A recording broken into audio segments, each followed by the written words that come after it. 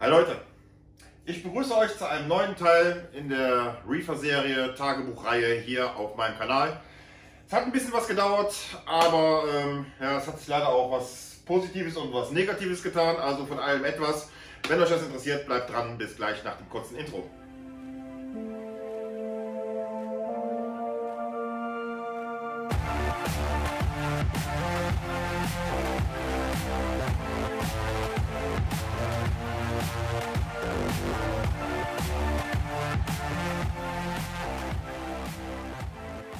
Ja Leute, danke fürs Dranbleiben und ich denke, wir legen dann auch direkt los. Alles in allem sieht das Becken ja gar nicht mal so schlecht aus. Und ich weiß, dass es einige gibt, die sagen, das Becken ist mega, das Becken ist top. Der Meinung war ich eigentlich auch bis vor einer Woche circa oder vor, nee, vor drei Tagen. Da kriegte ich dann nämlich meine ICP, die ich ähm, jetzt dann endlich mal gemacht habe. Die letzte ICP, die ich für dieses Becken habe machen lassen, ist ein Dreivierteljahr her. Und in dieser Zeit hat sich ja einiges getan. Und ich war ja entweder zu faul oder habe reingeguckt, habe gesagt, ja, steht doch alles, passt.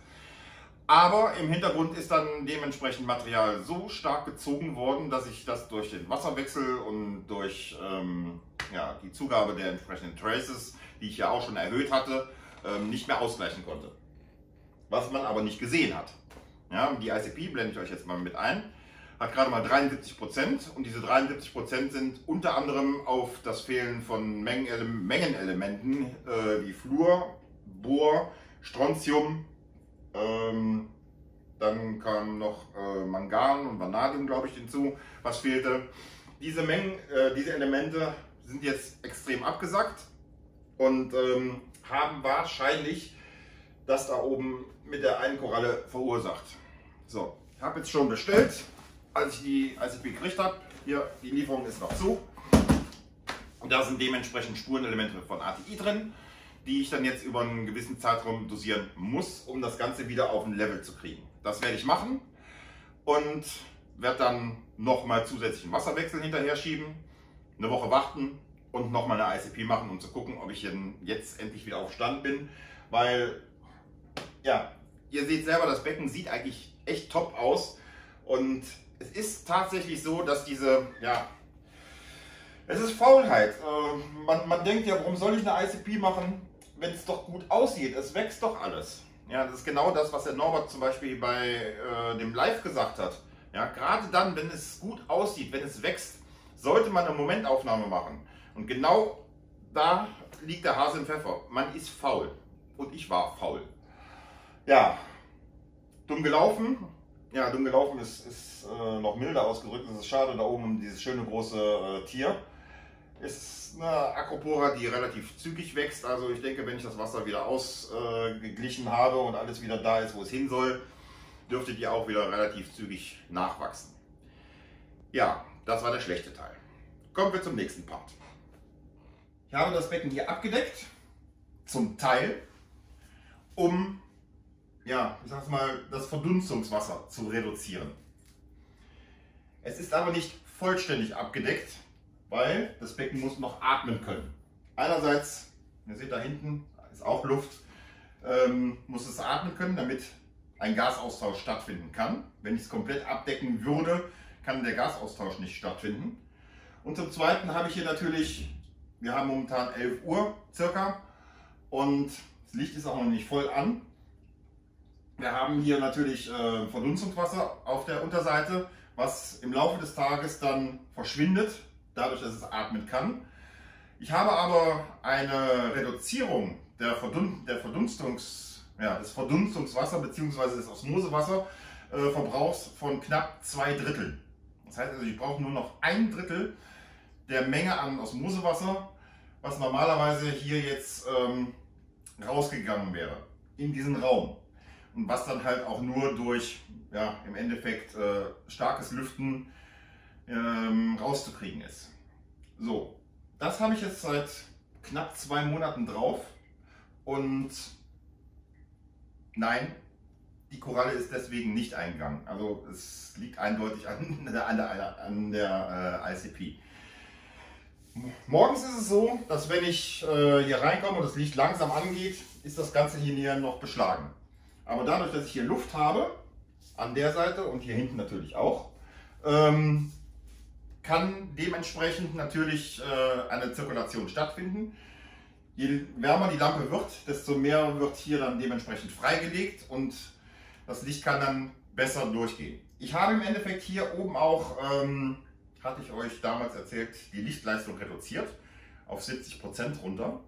Und diese Reserve, die ich da jetzt habe, ähm, mir dadurch angelegt habe, kann ich jetzt wieder on top drauflegen. Ich fahre diese Lampe jetzt auf 85 Prozent und vom Wachstum her, vom Verbrauch her, ist alles äh, jetzt gleich geblieben, weil man kann im Prinzip ja am, am KH-Verbrauch feststellen, passt das oder passt das nicht.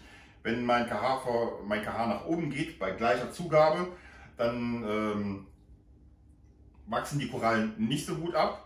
Ich habe die Lichtleistung erhöht und mein KH-Verbrauch ist gleich geblieben. Das heißt also, das Becken verbraucht tatsächlich immer noch genau das gleiche wie vorher. Wichtig ist wohlgemerkt, wenn man das abdeckt, dass man noch Licht in Reserve hat, weil diese Plexiglasscheibe hier ähm, nimmt natürlich einen Teil äh, weg.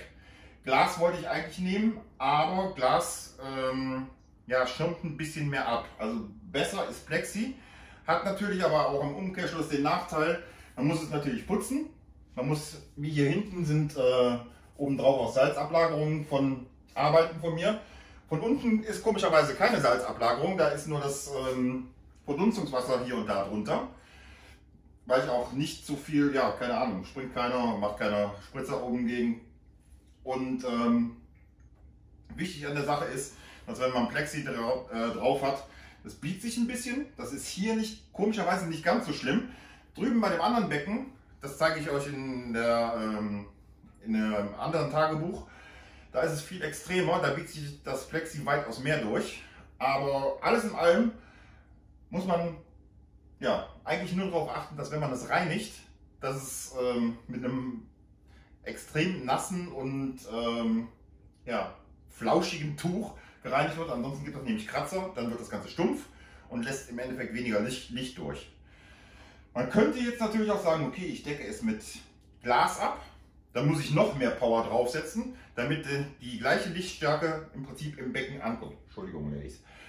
Ähm, ja, aber alles in allem, wie gesagt, ich habe knapp zwei Drittel weniger Osmosewasserverbrauch und ähm, ich mache mal eben hier unten auf. Das ist jetzt der Verbrauch. Ich weiß nicht, ob man es sieht. Ähm, muss man eben gucken. Ja, nicht wirklich. Da blende ich euch separat ein. Ähm, das ist der Verbrauch von einer Woche, wo ich normalerweise äh, das Becken schon komplett leer habe. Und ja, das spricht im Endeffekt dafür. Des Weiteren habe ich ja hier, muss ich mal eben gucken, genau das pH-Meter. Und daran kann man zum Beispiel auch sehen, ob das hier mit, diesem, mit der Abdeckung okay ist, weil der pH muss ja in einer gewissen, in, im gewissen Bereich bleiben. Habe hier tatsächlich eine maximale Absackung bis auf 8,0. Gerade eben hatten wir 8,07, aber es ist ja auch jetzt schon eine Zeit lang das Licht an. Und ähm, der pH geht am Tag hier auf äh, 8,4, äh, teilweise hoch. Ich habe Atemkalk dran, das ist richtig. Ja. Ich arbeite also hier und drüben bei dem anderen Becken mit Atemkalk, um natürlich dafür zu, sagen, zu sorgen, dass dann dementsprechend vernünftiger Gasaustausch stattfindet und nicht zu viel CO2 äh, im Becken ist. Somit passt dann auch mein pH-Wert und ja, alles in allem. Ich werde das hier weiter probieren, beziehungsweise auch noch weiter darüber berichten auch drüben beim anderen Becken. Es läuft drüben genauso gut. Und ähm, ja, ist vielleicht eine, eine, Maßnahme. Wie gesagt, man muss ein paar Dinge beachten. Einmal, dass es äh, nicht komplett abgedeckt ist. Zum zweiten muss man den pH-Wert im Auge behalten. Und zum dritten halt, ähm, wie sieht es mit meinem pH-Verbrauch aus? Bleibt der gleich? Muss ich meine Lichtintensität erhöhen? Wenn die Dinge gegeben sind, dann, ist, dann spricht gegen so eine Abdeckung äh, generell nichts. Die habe ich jetzt natürlich erstmal nur vorübergehend äh, drauf, jetzt für die Wintermonate, weil ich müsste dementsprechend dann mehr heizen, weil ich mehr lüften muss, weil das hier sich dementsprechend in, in den Räumen dann, ja, ich sag mal, festsetzt, die Feuchtigkeit. Und das ist jetzt teilweise, ja, ich lüfte nur noch einmal am Tag und dann ist gut. Also da kommt immer noch genug Feuchtigkeit rüber, aber es ist nicht mehr die Menge wie vorher. Daher diese Abdeckung. Ja Leute, das nächste, was ihr wahrscheinlich schon die ganze Zeit gesehen habt, warum ist die Anemone jetzt da drüben? Weil ich hier einen kleinen Umbau getätigt habe. Und zwar habe ich hier die Ecke hier hinten komplett neu gestaltet. Habe dort hinten in der Ecke die Anemone hingepackt, weil die nicht so viel Strömung braucht und die hier durch, die, durch diese Fallströmung, also sprich, die kommt hier oben hin, kommt von oben runter und dann drückt sie hier gegen. Man sieht das hier bei der Kataphylia recht schön, dass da relativ viel, noch viel Druck ist. Habe ich gesagt, okay, die können wir da hinten hinsetzen, dann können wir hier diese Ecke neu gestalten, um wieder ja, Platz zu schaffen. Und ähm, ich denke mal, das Ganze ist mir relativ gut gelungen. Ich blende euch mal ein Bild ein, wie es vorher aussah und äh, so wie es jetzt ist. Das ist, ja, hat ein bisschen gedauert, waren so knapp zweieinhalb Stunden Arbeit. Ähm, meine Arme und äh, ja, haben es mir gedankt. und ich bin wieder nach der üblichen Methode bei mir vorgegangen. Also ich habe das alles wieder mit Sekundenkleber gemacht, mit Kabelbindern. Man kann auch da sehen, da ist noch ein Kabelbinder dran. Hier im hinteren Teil ähm, habe ich auch noch mit Kabelbindern gearbeitet, die dauerhaft drin bleiben, weil es nicht anders machbar ist. Aber alles in allem habe ich jetzt mehr Stellfläche. Die große Acropora, die hier in der Mitte stand, äh, ist hier rüber gewandert. Ich habe jetzt da hinten mehr Platz. Das Becken sieht hier im Bereich etwas lichter aus. Und ja, alles in allem gefällt es mir besser. Und ich habe jetzt auch wieder ein bisschen optisch ein bisschen mehr Platz. Und äh, ja, es ist auch wieder ein bisschen mehr Schwimmraum hier und da entstanden, dadurch, dass sie natürlich ähm, hier der Bereich jetzt äh, mehr, ja, ich sag, durch die Äste, die ich verwendet habe, ein bisschen mehr zugemacht wurde, ist, sind mehr Höhlen entstanden, beziehungsweise mehr Durchgänge. Hier unten habe ich ein Stück Epo reingepackt, was ich drüben weggepackt habe. Warum das hier äh, jetzt reingekommen ist und drüben nicht mehr drin ist, das seht ihr in dem äh, Tagebuch vom äh, Projekt. Da kommen wir dann später zu. Wahrscheinlich haue ich das morgen raus. Aber ihr seht, das ist hier ganz normal mit eingesetzt. Es hat ein paar grüne Ansätze gekriegt und soweit, so gut, alles okay. Ja, es ist wieder Platz da und die Korallen können sich jetzt wieder ein bisschen besser entfalten. Das wäre der Part gewesen und im Technikbecken hat sich auch noch eine Kleinigkeit getan, da gehen wir jetzt hin. Ja Leute, sind wir im Technikbereich. Wie ihr seht, da hinten ist ein neuer Wirbelbettfilter reingekommen, der Nios Talk. Und ähm, muss ich echt sagen, ist ein geiles Ding. Habe ich von einem Bekannten bekommen, der ihn nicht mehr brauchte. Und ja, es ist einfach zu, einfacher zu handeln als den AF90, den ich da hatte. Der ist übrigens jetzt rübergewandert ins äh, Projektbecken, weil der etwas kleiner von der Grundfläche her ist. Und ich somit äh, da hinten nicht unbedingt Tetris spielen muss, wenn ich an irgendwas dran muss. Ähm, ja, ansonsten hat sich nicht viel verändert. Hier seht ihr nochmal den verbrauchten Wasserstand, den ich äh, tatsächlich über eine Woche jetzt äh, nur verbraucht habe im Vergleich zu eigentlich einem kompletten Becken, was, was das hier leer zieht. Also normalerweise hatte ich einen kompletten ähm, Tank hier, das sind glaube ich 54 Liter oder so, muss ich nochmal nachschauen, blende ich euch unten mit ein, ähm, der innerhalb von einer Woche hier durchgeht. Und das ist jetzt tatsächlich die Reduzierung. Der Rest, also ich komme so gesehen zwei Wochen jetzt mit einer Füllung aus. Also das ist schon mal sehr gut. Wie gesagt, mit den Korallen oben, das passt auch. Man muss halt auf die Kleinigkeiten achten. Technikbereich, also Ablegerbereich habe ich auch sauber gemacht. Da waren meine Xenien sehr fleißig gewesen. Die haben überall gehangen und haben sich schön gleichmäßig verbreitet. Und ähm, ja, was mich noch so ein kleines bisschen stört, jetzt nach einer gewissen Laufzeit ähm, wird der Abschäumer da hinten etwas lauter. Ich habe mir den auch schon etwas genauer angeguckt, also ich weiß nicht genau, woran es liegt. Ich habe wieder alles so zusammengebaut, wie es sein soll. Trotz alledem ähm, lässt er sich nicht wieder leiser kriegen. Also der wird wahrscheinlich in nächster Zeit irgendwann rausfliegen und durch einen neuen ersetzt. UV ist weiterhin geblieben. Das ist die große ähm, Debari äh, AN, ich glaube AN15, also 15 Watt. Ja, ansonsten hat sich hier unten nicht viel getan. Hinten ist ein neuer Titanheizer noch reingekommen, weil der alte Heizer, mit dem ich da unten gearbeitet habe, der ist äh, nicht schaltgeeignet gewesen. Also nur Titanheizer sind eigentlich dafür geeignet, tatsächlich über einen ähm, Temperaturcontroller benutzt zu werden. Deshalb habe ich da unten auch wieder einen 300 Watt Titanheizer genommen. Und ja, hier vorne habe ich noch den Sensor für die pH-Sonde. Alles in allem hat sich hier unten dann nichts weiter verändert, außer natürlich der äh, Wirbelbettfilter. Ja Leute, das war mal wieder ein Überblick, ein Tagebucheintrag zu diesem Becken. Wie gesagt, ähm, es gab einige Sachen, wo ich selber dran schuld bin. Das mit der ICP, ihr seht selber, es ist Routine gewesen. Man denkt, ja, läuft doch, brauchst du nicht. Äh, ist eben nicht so. Alles in allem aber steht dieses Becken sehr, sehr gut da. Und äh, ich bin eigentlich auch hochzufrieden, bis halt auf die Kleinigkeit jetzt, dass ich halt äh, nacharbeiten muss. Und äh, ganz ehrlich, die, die Menge, die ich jetzt hier reinkippen muss, beziehungsweise das, was mich das jetzt gekostet hat, damit ich das auf dem Level halte, steht leider in, keiner, in keinem Vergleich zu dem, was ich eigentlich ähm, an Traces hätte reinkippen können.